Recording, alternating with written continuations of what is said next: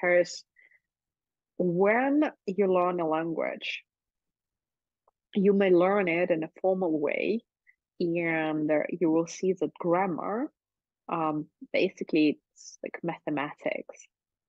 You get a certain formula for verbs or for nouns, for word order uh, in a sentence, yeah, that's it. So when people are saying, "Oh, I'm good in mathematics, but I'm talk or like uh, literature and uh, languages," no, no, no, this is a big misconception.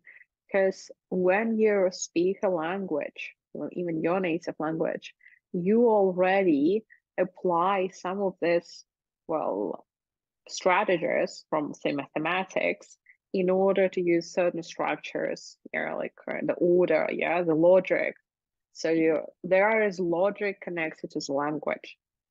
And we all have our inner compass of logic.